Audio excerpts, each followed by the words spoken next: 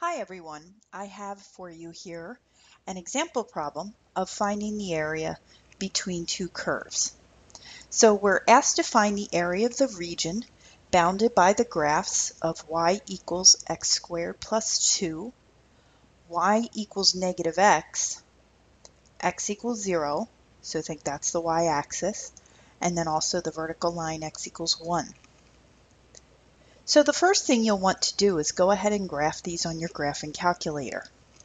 So I have them set up under y equals on my calculator, and I just went ahead and did zoom 6 to graph it. So hopefully that's the graph you're looking at. Now remember we're only concerned with the region going from x equals 0 to x equals 1. So it might be helpful if we can zoom in a little bit on that region. A great way to do that, I don't know if you've used this all that often, is zoom box. If you hit your zoom button, you'll notice that first one says Z box. So hit enter and you'll notice your little cursor there blinking at you. What you're going to do is essentially create a box, a frame, around the part that you want to focus on. So you'll want to move your cursor to the upper left corner of where you will want your frame to start. So from where I am at the origin now, I'm going to go a little bit to the left. And then I'll go up a little bit, maybe go up a little bit higher than the first curve. And once you know where you want your upper left corner to start, hit enter. And then you start going to the right and down. So I'm going to go to the right a little past 1, and then I'm going to go down. Because remember, it's also bounded by, on the lower end, that red curve, that's the, the line y equals negative x. Now your numbers might not be exactly like mine, that's okay. Then when you're done, just hit enter, and you'll notice it draws it, just focusing in on that part. So really what you're looking for, if you look, is that, you know, it's part of the region in the first quadrant, a little bit there in the fourth quadrant, bounded on the upper end by the blue curve. The blue curve is y equals x squared plus 2, and at the bottom by the red curve, y equals negative x, in between x equals 0 and x equals 1. So think of the idea of the representative rectangles we talked about. Remember the idea goes back to Riemann, Riemann sums. And if you could inscribe rectangles in here so that your rectangle was hitting each of the curves, in this case your rectangles would have to go vertically. That would make it a dx problem. So the way in which we're going to find the area, let's go back and write it out. Our area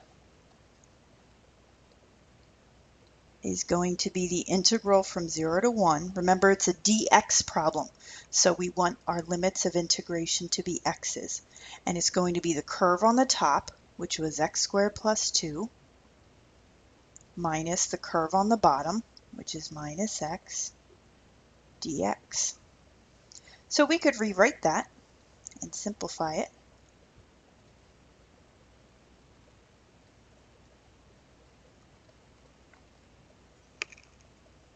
You could go ahead and do your antiderivative.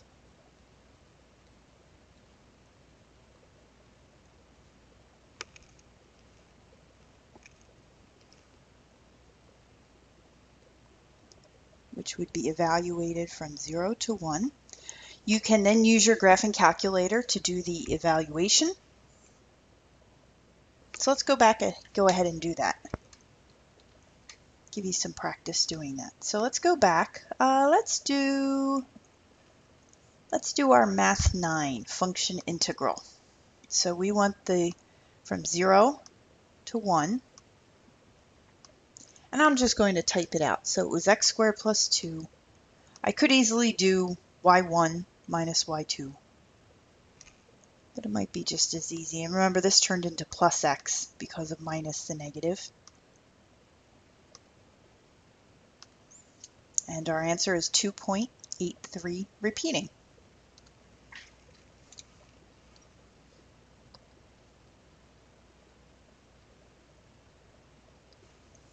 If you did have to attach units, it would be square units because we're finding an area.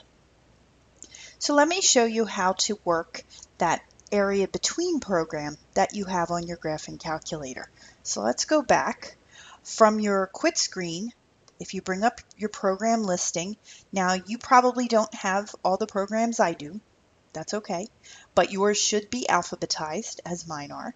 So go down to area between that's the one you want, area between. And when you go ahead and run it, it's going to ask you what your lower bound is. In this case, it's 0. Upper bound would be 1. And there's your answer.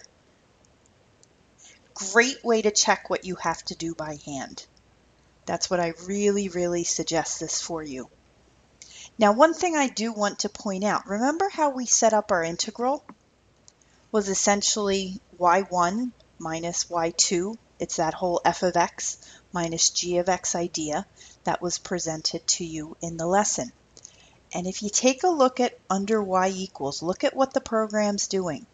Notice how under y3, it actually did y1 minus y2. So the calculator program is actually mimicking what you are doing by hand. But again, I suggest it as a really, really great way for you to check all your answers.